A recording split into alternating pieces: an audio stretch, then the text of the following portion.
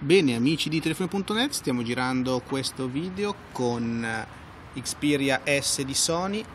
Vedete c'è lo zoom ovviamente digitale. Torniamo indietro. Questo è un video che stiamo girando a 720p per farvi capire le potenzialità non è un video che stiamo girando con un'unità definitiva quindi le prestazioni potranno anche aumentare. Ovviamente è presente il fuoco continuo